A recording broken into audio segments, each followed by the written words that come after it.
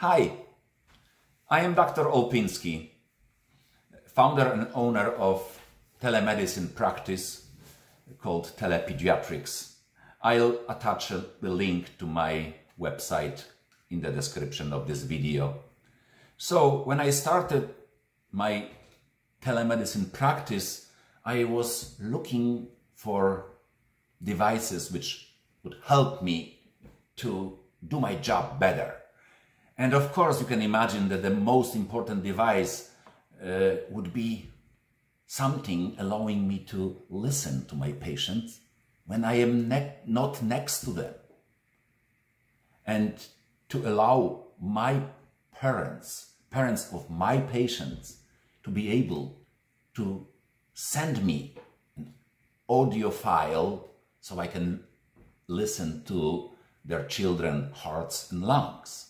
So I was looking over the internet for devices, for stethoscopes. I found a few, but they were so expensive. So I knew that I couldn't, you know, ask my parents to buy so expensive devices. So after some time, I stumbled on this device, which I will show you now. This is the little white box. And in this little box, there is a device which is small, which is easy to use, and which is actually inexpensive. So I decided to buy it and to try it on one of my grandkids. And in a moment you will see the video of how my daughter-in-law was using it in New Jersey. I am in Chicago. So let's open the box. In this little box you see this device, round, white and silver, which is called Stemoscope on the other side, there is a QR code which is used to register it. There is a little switch button here. And when it is switched on, it starts to blink. Then you will have to connect Stemoscope with your phone via Bluetooth. And in one minute, you can start recording the sounds of the lungs or heart. It's really easy. So now watch the video sent to me by my daughter-in-law. Today I'm going to record my son's heartbeat to send to our doctor. I'm going to use the stethoscope, so I've made sure my stethoscope is turned on. And then on my phone, I'm going to choose the Stemoscope app and then choose listen, the ear icon. Once in the app, I'm going to turn on the screen video recording. And then I'll choose where on his body we're going to listen to his heartbeat. And take my stethoscope, Place it there.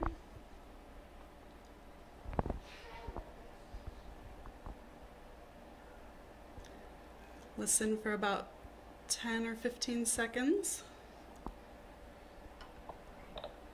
And then stop the recording. Now we have a visual of his heartbeat as well as audio and I'm going to send that to Dr. Olpinski, choosing the send option up here. Okay, and I'll hit share video so that he can see as well.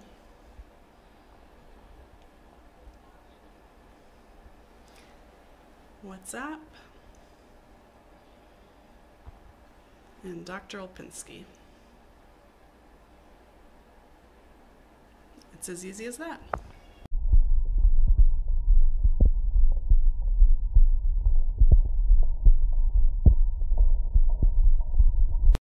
Okay, now you could see how quick and easy it was for me to get this information, the heart sounds of my grandson.